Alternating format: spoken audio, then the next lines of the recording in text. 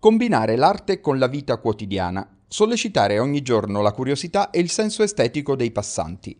È il progetto delle stazioni d'arte di Napoli, 180 opere di 90 autori contemporanei distribuite fra le stazioni della linea 1 e della linea 6 della metro cittadina, uno dei maggiori tesori di arte pubblica del mondo.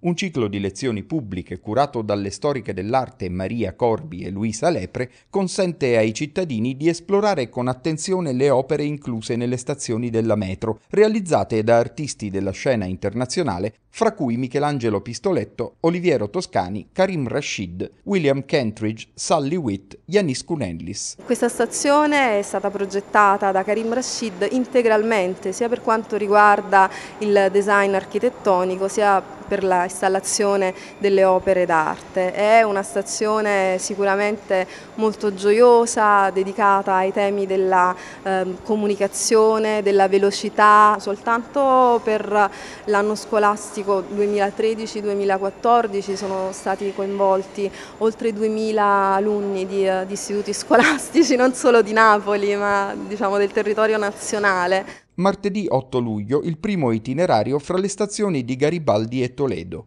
I prossimi appuntamenti, ogni martedì del mese alle 10.30, riguarderanno ancora la stazione Toledo, che la CNN ha definito la più bella d'Europa, l'imponente uscita di Monte Calvario e ancora le stazioni di Dante e Salvator Rosa.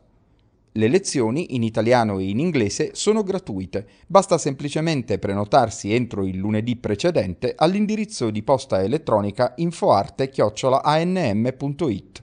Altre informazioni sul sito www.comune.napoli.it.